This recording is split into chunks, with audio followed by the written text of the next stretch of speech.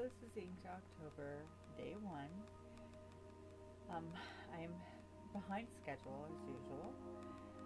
And this is Ring is the prompt. I'm sure you've all seen it by now.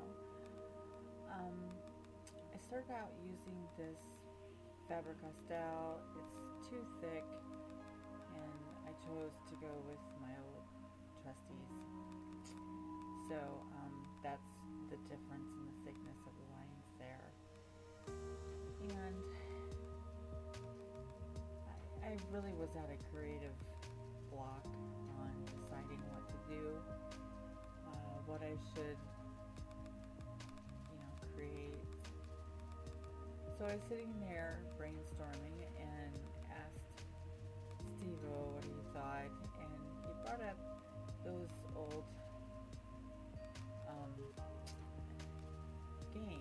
puzzles. And I remember sitting with Aunt Jean when I was little and going over the, um? Pictograms. So this is a pictogram. And um, I'm just going to let it run its course. And at the end, I would love to get comments as to what the answer is. When you put all these clues together, picture clues. Um, and I'll see you in future Inktober's. Um, but I have a lot of catching up to do. so um, I'll bid you farewell and look for the comments for the answer.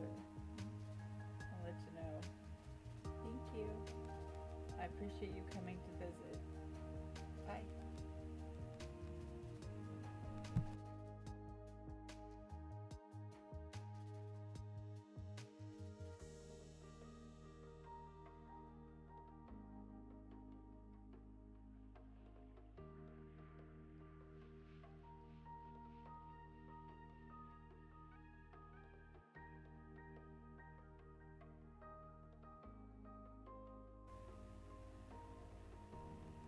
Want to say something here. At this point, my hands are hurting so bad, and I'm not having a lot of control of them right now. It's another reason why I've kind of put off getting these started. Um, so I'll try my best to stay on track once I get caught up. Okay. Okay, I'm out again. Thanks. Bye.